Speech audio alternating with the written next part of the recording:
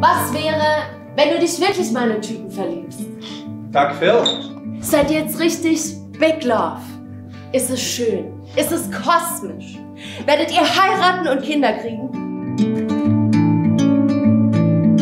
Du hast eine verrückte Zwillingsschwester. Die kleinen Jungs Angst einjagt.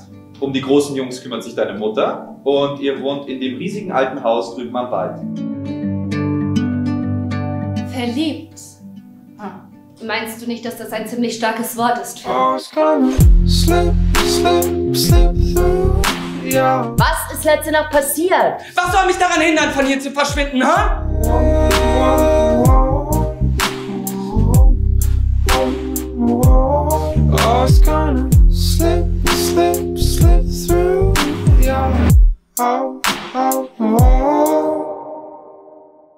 Und wie fandet ihr es? Ja, das doch, war, also Nee, doch, nee, sag diesmal du mal, nee, was, das war, war, was ich dazu sagen soll. Also das war ziemlich äh, grauenhaft. ja,